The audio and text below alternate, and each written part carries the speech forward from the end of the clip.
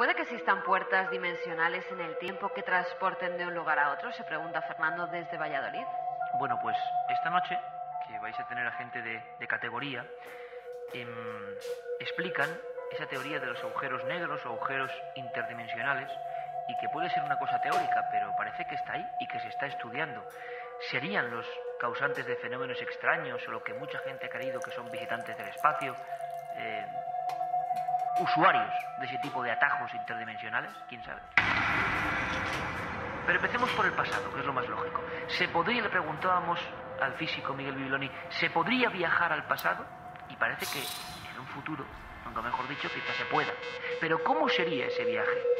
¿Qué podríamos y no podríamos hacer? Vengo del futuro a traerte tu lejía. Ley física, dicen, de la no intervención. Los físicos.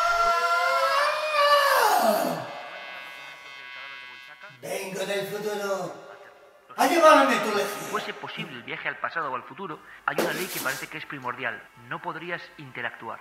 Ya cambias la historia. Un presunto viajero Tan mal se pone la cosa. tenía una solución para eso y la dio a través del forote.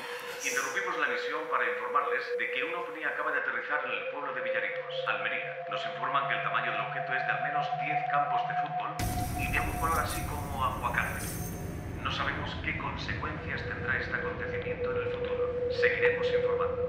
Con el patrocinio de Mudanzas Bajo el Puente, el Ministerio de Empleo